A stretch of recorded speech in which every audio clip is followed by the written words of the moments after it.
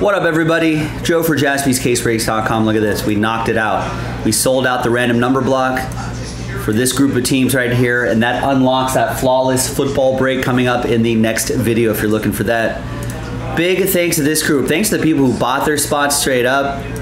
Congrats again to the people who won spots in those two fillers. There are the numbers right there. Let's go. Let's roll it, randomize it. Three and a six, nine times for names and numbers. Good luck. One, two, three, four, five, six, and a three, seven, eight, and nine. All right, we got William down to Eric.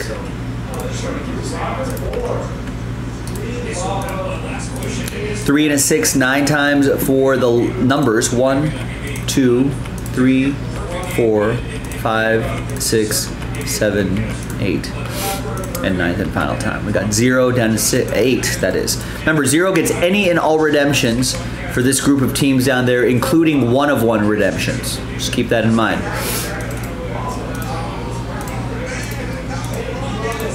All right, so William, you got zero. So any and all redemptions, although, although Flawless probably doesn't have redemptions, right?